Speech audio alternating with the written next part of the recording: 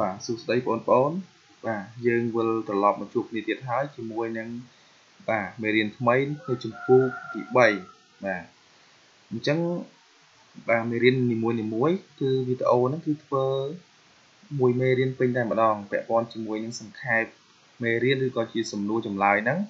បាទអញ្ចឹងបងប្អូនអាចកាត់យកខ្លឹមសារហ្នឹងធ្វើជាចម្លើយរបស់សំណួរនៅពេលដែល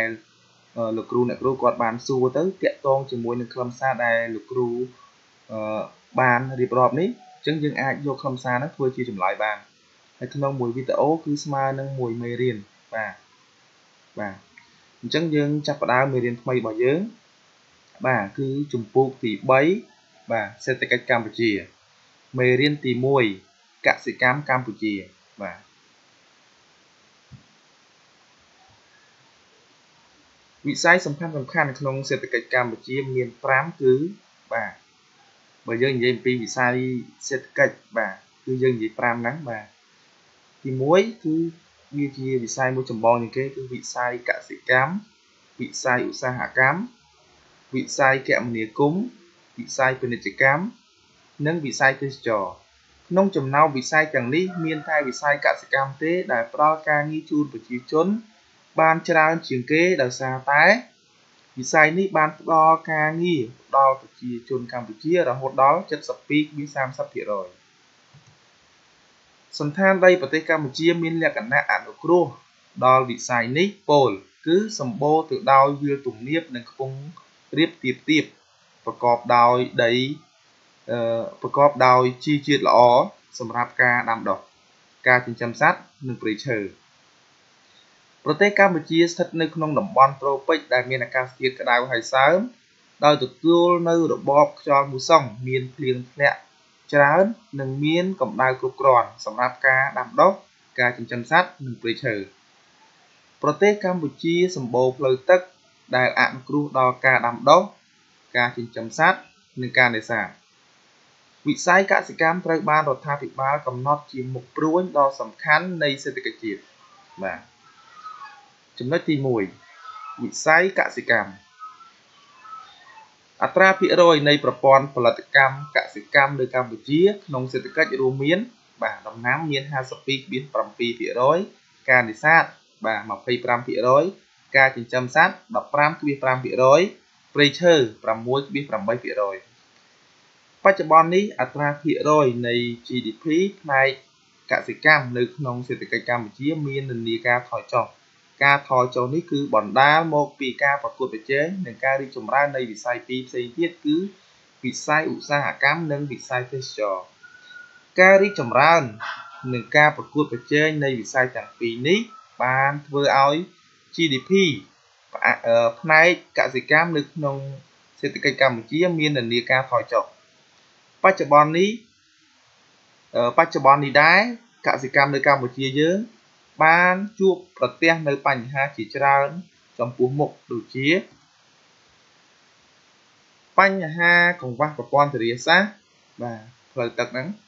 បាទបញ្ហាដីខ្សោះជីជាតិនិងដីកាន់អឺនិងដីជាប់ជាចំការមីនបាទបញ្ហាកង្វះការប្រើយន្តកម្មក្នុងវិស័យកសិកម្មបាទមានន័យថាយន្តកម្មនោះគឺការប្រើគ្រឿងចក្រដោយសារតែនៅ ប្រើរបស់ប្រើប្រាស់ឧបករណ៍បុរាណបញ្ហាកង្វះគីមីកម្មនិងការប្រើប្រាស់មិនបានត្រឹមត្រូវបញ្ហាកង្វះបច្ចេកទេសកសិកម្មបាទការបង្កាត់ពូជទីផ្សោតពូជកងបញ្ហាកង្វះការថែទាំបញ្ហាប្រជាជនកង្វះចំណេះដឹងក្នុងការធ្វើកសិកម្មបញ្ហាកង្វះអ្នកជំនាញក្នុងការធ្វើកសិកម្មកង្វះ បញ្ហាកង្វះទីផ្សារសម្រាប់ផលិតផលកសិកម្មចំណុចទី2ប្រភេទកសិករជាទូទៅគេចែកកសិករនៅកម្ពុជាជា4ប្រភេទដែលរួមមានដូចខាងក្រោមទី1កសិករផលិតស្រូវឬអ្នកស្រែកសិករប្រភេទនេះនិយមដាំស្រូវនៅលើដីទំនាបក្រៅពីនេះ គេមានការងារផ្សេងផ្សេងទៀតដូចជាឡើងថ្នោតចិញ្ចឹមសត្វ និងនេសាទជាដើមទី2កសិករនៅតំបន់ខ្ពស់បាទកសិករប្រភេទនេះគេដាំដំណាំជាអចិន្ត្រៃយ៍ដូចជាពោតសណ្តែកល្ងជាដើមក្រៅពីនេះគេធ្វើស្រែប្រដេញទឹកនិងចិញ្ចឹមសត្វ3កសិករធ្វើចំការឬមិនធ្វើស្រែកសិករប្រភេទនេះគេដាំដំណាំផ្សេងផ្សេងនៅតាមមាត់ទន្លេស្ទឹង និងដីទួលខ្ពស់ដូចជាថ្នាំជក់ពោតសណ្តែកបន្លែនិងផ្កាជាដើមបាទ4កសិករភូមិ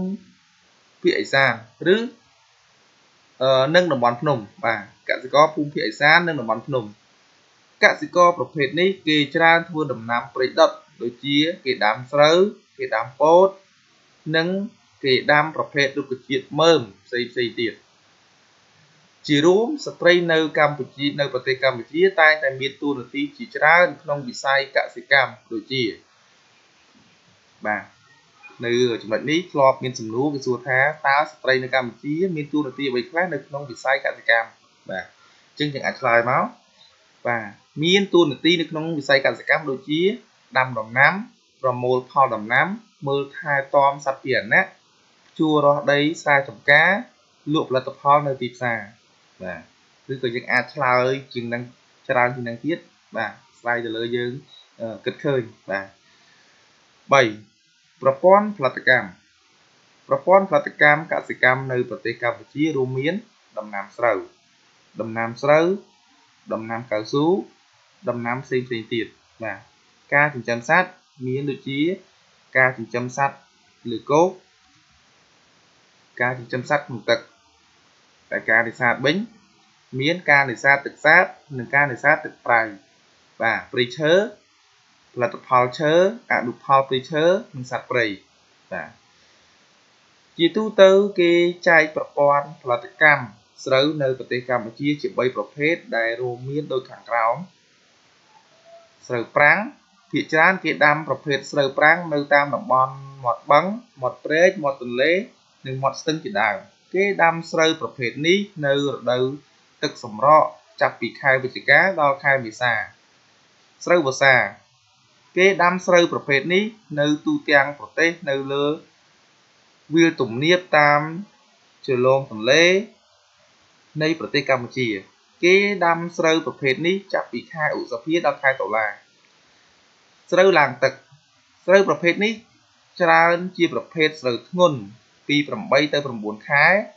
ហើយភាគច្រើនត្រូវបាន គេដាំនៅជុំវិញបឹងទន្លេសាប និងកំហូងនានា តាមបណ្ដោយទន្លេមេគង្គចំណាំអឺចំណាំជំទោសដំណាំដែលសំខាន់ជាងគេនៅប្រទេសកម្ពុជា គឺដំណាំស្រូវពីព្រោះផ្ទៃដីដាំដុះ90%ត្រូវបានគេដាំស្រូវ ប្រជាជនកម្ពុជាយកស្រូវធ្វើជាអាហារមូលដ្ឋានរបស់ខ្លួន សន្តានដីប្រទេសកម្ពុជាសម្បូរទំនាបនិងខ្ពង់រាបទាបៗហើយជាដីប្រកបដោយជីជាតិដែលអនុគ្រោះដល់ការដាំស្រូវប្រទេសកម្ពុជាមានអាកាសធាតុក្តៅហើយសើមមានរដូវពីរច្បាស់លាស់គឺរដូវប្រាំងនិងរដូវវស្សា មានភ្លៀងធ្លាក់កន្លះឆ្នាំ និងរាំងកន្លះឆ្នាំ និងមានកម្ដៅគ្រប់គ្រាន់ ដែលអនុគ្រោះដល់ដំណាំស្រូវប្រទេសកម្ពុជាសម្បូរផ្លូវទឹក ដែលអនុគ្រោះដល់ការបាចបញ្ចូលទឹកអឺសំដៅការបាចបញ្ចូលស្រែនៅពេលដែលមានគ្រោះរាំងស្ងួត និងនៅរដូវប្រាំងកៅស៊ូមានប្រភពកំណើតនៅប្រទេសប្រេស៊ីលនិងត្រូវបាននាំចូលមកប្រទេសកម្ពុជាដោយក្រុមហ៊ុនបារាំងនៅឆ្នាំ1920 ដំណាំកៅស៊ូនៅប្រទេសកម្ពុជាត្រូវបានគេដាំនៅតំបន់ដីក្រហម និងប្រភេទដីផ្សេងទៀតនៅក្នុងបណ្ដាខេត្តមួយចំនួន ដូចជាបាទខេត្តកំពង់ចាមខេត្តក្រចេះខេត្តរតនគិរីខេត្តព្រះសីហនុខេត្តស្ទឹងត្រែងខេត្តមណ្ឌលគិរីខេត្តសៀមរាបខេត្តកំពង់ធំខេត្តព្រះវិហារខេត្តពោធិ៍សាត់ខេត្តបាត់ដំបងនិងខេត្តបៃលិនជាទូទៅ ផ្ទៃដីដាំកៅស៊ូនៅប្រទេសកម្ពុជាត្រូវបានគេបែងចែកជា3ប្រភេទដែលរួមមានដូចជា ដីដាំកៅស៊ូសម្រាប់កសិកម្មដីដាំកៅស៊ូសម្រាប់ក្រុមហ៊ុនសម្បទាន និងដីដាំកៅស៊ូសម្រាប់លក្ខណៈគ្រួសារជារួមដំណាំកៅស៊ូផ្ដល់នូវសារៈសំខាន់ជាច្រើនដល់សេដ្ឋកិច្ចសង្គមនិងបរិស្ថានដែលរួមមានដូចជា ទី1ចំពោះសេដ្ឋកិច្ច ជួយទ្រទ្រង់លំនឹងជញ្ជីងពាណិជ្ជកម្មជួយជំរុញឲ្យមានកំណើនសេដ្ឋកិច្ចជាតិជួយទ្រទ្រង់លំនឹងសេដ្ឋកិច្ចគ្រួសារផ្ដល់ការងារដល់ប្រជាជន ជួយលើកស្ទួយកម្រិតជីវភាពរស់នៅរបស់ប្រជាជនផ្ដល់នូវផលិតផលដើម សម្រាប់ឧស្សាហកម្មផ្ដល់នូវផលិតផលដើម សម្រាប់នាំចេញ2សម្រាប់សង្គមបាទចំពោះសង្គមជួយកាត់បន្ថយចលនាបំលាស់ លំនៅរបស់ប្រជាជន ជួយកាត់បន្ថយនៅអត្រាអត់ការងារធ្វើរបស់ប្រជាជន ចូលរួមចំណែកក្នុងការកាត់បន្ថយភាពក្រីក្ររបស់ប្រជាជន ជួយកាត់បន្ថយបញ្ហាសង្គមផ្សេងៗដូចជាចោរកម្មនិងភេសាចារជាដើមបាទ3ចំពោះបរិស្ថាន ការពារសំណឹកដី ការពារការប្រែប្រួលអាកាសធាតុការពារការឡើងកម្ដៅនៃផែនដី ផ្ដល់នូវគម្របបៃតងរបស់ធម្មជាតិ កាត់បន្ថយការកាប់បំផ្លាញព្រៃឈើសម្រាប់ធ្វើអុសព្រោះកៅស៊ូផ្ដល់នូវអុកដុតជំនួសព្រៃឈើដំណាំផ្សេងផ្សេងទៀតនៅកម្ពុជារួមមាន បាទគេបែងចែកជាពីរប្រភេទដែរគឺដំណាំរួមផ្សំនិងដំណាំឧស្សាហកម្មបាទដំណាំរួមផ្សំមានដំណាំប្រភេទនេះរួមមានដូចជាដំណាំពោត ដំណាំដំឡូងឈើដំណាំដំឡូងជ្វីដំណាំបន្លែ និងដំណាំសណ្តែកបាយជាដើមរីឯដំណាំឧស្សាហកម្មបាទមានដូចជាដំណាំសណ្តែកដី ដំណាំសណ្តែកសៀងដំណាំងដំណាំក្រចៅដំណាំអំពៅនិងដំណាំថ្នាំជក់ជាដើមការចិញ្ចឹមសត្វនៅប្រទេសកម្ពុជាយើងនាពេលបច្ចុប្បន្ន នៅមានលក្ខណៈអន់ថយឬមិនទាន់មានភាពជឿនលឿននៅឡើយទេពីព្រោះការចិញ្ចឹមសត្វភាគច្រើនមានលក្ខណៈជាគ្រួសារការចិញ្ចឹមសត្វមានទ្រង់ទ្រាយតូចតាចមានការប្រើប្រាស់ដើមទុនតិចចិញ្ចឹមសត្វបំរើឲ្យតែវិស័យកសិកម្មប៉ុណ្ណោះមិនបំរើឲ្យវិស័យឧស្សាហកម្មប្រជាកសិករភាគច្រើនខ្វះជំនាញក្នុងការចិញ្ចឹមសត្វ ការចិញ្ចឹមសត្វទទួលបានទិន្នផលទាបនៅឡើយនៅប្រទេសកម្ពុជាខេត្តដែលចិញ្ចឹមគោច្រើនជាងគេរួមមានខេត្តកំពង់ស្ពឺខេត្តកំពង់ចាមខេត្តតាកែវខេត្តព្រៃវែងខេត្តកំពង់ធំខេត្តសៀមរាបនិងខេត្តកំពតដោយឡែកខេត្តដែលចិញ្ចឹមក្របីច្រើនជាងគេនៅប្រទេសកម្ពុជារួមមានខេត្តស្វាយរៀង ខេត្តពោធិ៍សាត់ខេត្តព្រៃវែងខេត្តកំពង់ចាមខេត្តកំពង់ធំខេត្តកំពង់ឆ្នាំងនិងខេត្តក្រចេះនៅប្រទេសកម្ពុជាឆ្នាំ1970ឬមុនសង្គ្រាមសម្បូរត្រីទឹកសាបណាស់ពីព្រោះសម្បូរព្រៃលិចទឹកអាកាសធាតុអនុគ្រោះរបបទឹកឡើងនិងស្រកមានភាពទៀងទាត់មានបទល្មើសនេសាទតិចតួច មានប្រជាជនអឺមានកំណើនប្រជាជនយឺតការអនុវត្តច្បាប់មានប្រសិទ្ធភាពបច្ចុប្បន្ននេះបរិមាណត្រីទឹកសាបនៅប្រទេសកម្ពុជាមានការថយចុះយ៉ាងខ្លាំងពីព្រោះមានកំណើនប្រជាជនខ្ពស់កំណើនការកាប់បំផ្លាញព្រៃលិចទឹកដែលជាជំរករបស់ត្រី កំណើនដីមមោកនៅតាមបាតប្រភពផ្លូវទឹក ការប្រែប្រួលអាកាសធាតុ ការប្រើប្រាស់ថ្នាំគីមីក្នុងកសិកម្មការនេសាទដោយប្រើឧបករណ៍បច្ចេកទេសទំនើបការកើនឡើងនៅបទល្មើសនេសាទដូចជាការដាក់ក្របបែកការនេសាទនៅរដូវត្រីពងការប្រើស្បៃញឹកបាទមួយទៀតគឺការអនុវត្តច្បាប់នេសាទមិនមានប្រសិទ្ធភាពបច្ចុប្បន្ននេះព្រៃឈើនៅប្រទេសកម្ពុជាមានលក្ខណៈឬស្ថានភាពថយចុះគួរឲ្យកត់សម្គាល់ នៅឆ្នាំ1960កម្ពុជាមានព្រៃឈើប្រមាណ73%មកដល់ឆ្នាំ1980ព្រៃឈើកម្ពុជានៅសល់ប្រហែល50%នៅឆ្នាំ1989ព្រៃឈើនៅកម្ពុជានៅសល់41.7%និងនៅពេលបច្ចុប្បន្នព្រៃឈើកម្ពុជានៅសល់មិនដល់40%ទេហើយនៅតែបន្តថយចុះជាលំដាប់ ការថយចុះនៃព្រៃឈើនៅកម្ពុជាឬការបាត់បង់ព្រៃឈើនៅកម្ពុជាបណ្ដាលមកពីមូលហេតុមួយចំនួនដូចជាបាទទី1កំណើនខ្ពស់នៃប្រជាជនកម្ពុជា ដែលនាំឲ្យមានកំណើនតម្រូវការដូចជាបាទផ្ទៃដីកសិកម្មបាទត្រូវកាប់ព្រៃធ្វើយកដីធ្វើកសិកម្មបាទសំណង់លំនៅឋាន កំណើននៅអុសនិងធ្យូងសម្រាប់ដុត កំណើននៅតម្រូវការឈើសម្រាប់ប្រើប្រាស់ផ្សេងៗបាទមួយទៀតគឺការអភិវឌ្ឍឧស្សាហកម្មការអភិវឌ្ឍផ្លូវថ្នល់បាទត្រូវការកាប់ព្រៃឈើហើយការធ្វើអាជីវកម្មរ៉ែនិងការផ្ដល់ដីសម្បត្តិសេដ្ឋកិច្ចការធ្វើអាជីវកម្មព្រៃឈើក្នុងទ្រង់ទ្រាយធំបែបអាណាធិបតេយ្យការដុតព្រៃយកដីធ្វើកសិកម្មសង្គ្រាមនៅប្រទេសកម្ពុជា ការអនុវត្តច្បាប់ការពារព្រៃឈើមិនមានប្រសិទ្ធភាព